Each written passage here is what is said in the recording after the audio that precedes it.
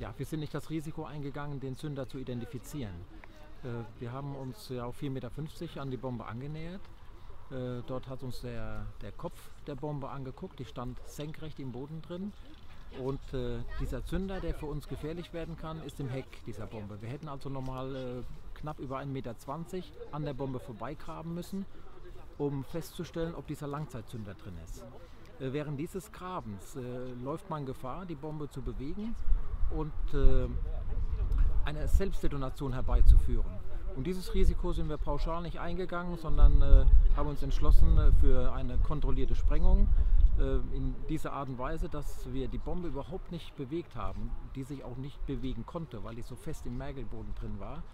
Äh, konnten wir auch ohne weiteres noch die Zeit aufbringen, Deckungsmaßnahmen aufzubringen, äh, dass hier rundherum nicht so viele Splitter fliegen und hier auch das naheliegende Gehöft nicht betroffen ist. Wird es gefährlich, äh, wenn wir die Bombe verlagern oder